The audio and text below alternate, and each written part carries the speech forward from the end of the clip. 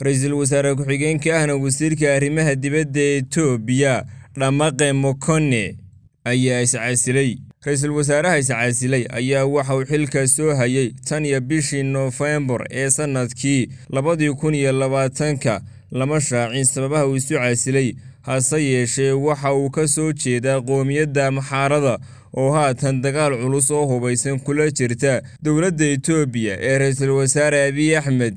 Dalka etoobiya waxaa ka taagan dagaallo sokeeye oo qoomiyado ku salaysan kuwaasoo khatar ku ah amniga dalkaasi.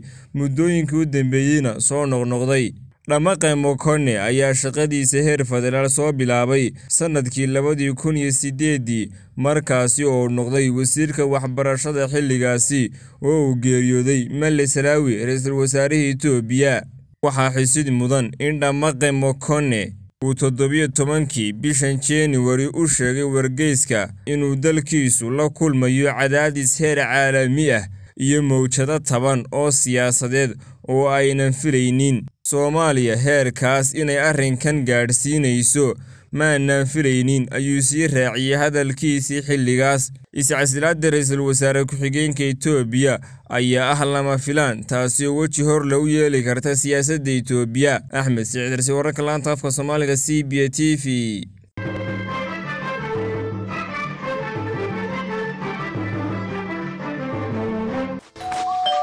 Maasha allah soo dhowaada la jaanqaad shirkadda telesom. Maxmil waxay kuu diyaarisay adeegga internetka ay faibar optiga kaasoo xawaarihiisu kala go' lahayn. Waa guji waa ishaa biligteeda.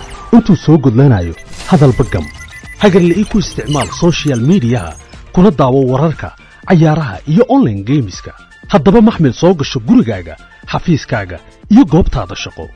Fadlan nagala soo xidhiidh nambarka gaaban